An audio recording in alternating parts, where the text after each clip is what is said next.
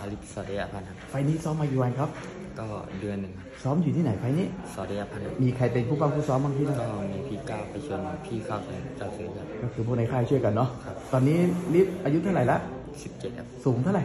ร้อยเจ็ดสิบห้าน้ำหนักไปปล่อยๆมาประมาณกี่กิโลครับ ห้าสิบสาม เราเป็นมวยสไตล์อะไรครับ ฝีมือไทยเดินไทยอืมแล้ววันนี้เราเจอกับเพชรลุ่มเคยเจอกันยังยังครับอ๋อนี่ไฟล์แรกเลย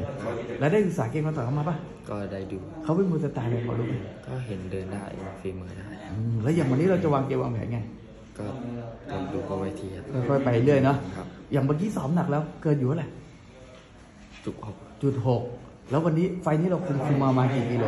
สามโลสามโลได้สามโลแล้วก่อนปิดโควิดนี่เรา เปิดโควิดมานี่ได้ต่อยไหมยังได้ต่อยต่อยไว้ที่ช่องเจ็ดกองเจ็ดวันนี้เป็นไงชนะชนะมาวันนั้นเวทเท่าไหร่ครั้งที่แล้วร้อยสิบสองครั้งนี้ร้อยสิบเอ็ดอ๋อวันนี้ร้อยสิบเอ็ดแต่ก็คือเกินอยู่แค่จุดจุดหกจุดหกไมมีปัญหาแน่นอนอะเราเป็นคนจังหวัดอะไรครับนาราธิวาสอะฝากเชิญชวนแฟนคลับเราวันนี้หน่อยก็